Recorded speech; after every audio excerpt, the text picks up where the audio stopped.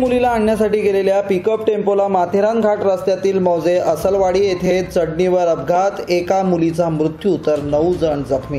कर्जत तालुक्यातील नेरळ येथील टपालवाडी येथील लग्न झालेल्या मुलीला माहेरी आणण्यासाठी असलवाडी येथे गेलेल्या पिकअप टेम्पोला माथेरान घाट रस्त्यावर असलवाडीकडे जाणाऱ्या कच्च्या स्वरूपाच्या असलेल्या घाट रस्त्यावरील चटणीवर पिकअप चालकाचा ताबा सुटल्यामुळे अपघात झाला असून या अपघातात एका सोळा वर्षीय मुलीचा मृत्यू झाला आहे तर नऊ जण जखमी झाले असून जखमीवर भिवपुरी येथील रायगड हॉस्पिटल येथे उपचारासाठी दाखल करण्यात आला आहे.